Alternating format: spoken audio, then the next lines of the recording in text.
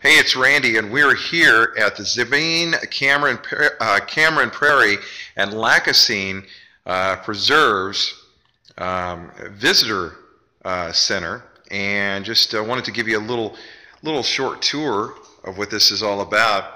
It has uh, examples of a lot of the uh, wildlife that you'll see and experience here in southern Louisiana and it's a really neat little visitor center. We were outside earlier, but it is cold out there today, like in the 30s. It's crazy for it being in March and it being that cold. But uh, some example of some tracks there, some white-tailed deer tracks and raccoon and American alligator, and the heron tracks.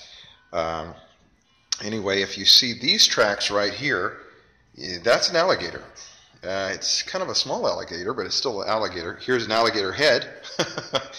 and just uh, moseying around here, um, they have some great examples of the local uh, fowl, the, the, ducks here. Just uh, some great examples. Try not to hit the light there. Um, but just some, some different things you can experience here. It's, it's really, really cool uh, here at the, uh, the Reserve Refuge uh, Visitor Center. So, what city is this uh, that we're in? This is outside Cameron. I know that.